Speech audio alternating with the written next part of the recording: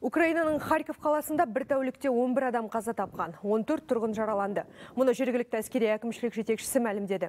Олег Синегубов ресейлік күштер бірден іске қосылмай уақыт өте келе жарылатын миналарды қолданып жатқанын, табылған оқ дәрілерден абай болуды ескертті. Ресей қорғаныс министрлігі де жаңа дерек келтірді.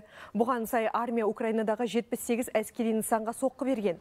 Жекелеп айтсақ, Херсон облысында Ми-24 ұшағы атып түсірілсе, тағы бір елде, елді мекенде Украина қарулы күштерінің жөндеу базасы жойылған. Ал Изюм қаласында украиналық екі Су-25 ұшағы жойылды. Дегенмен жоғарыда келтірілген ақпараттарды растау немесе жоққа шығару мүмкін емес. Тағы бір мәлімет, бүгін Украинаның шығысында тұрғындарды көшіру үшін 9 дәліз ашылды. Эвакуация Ресей Украина өкілдерінің өзара келісіммен жүргізіледі.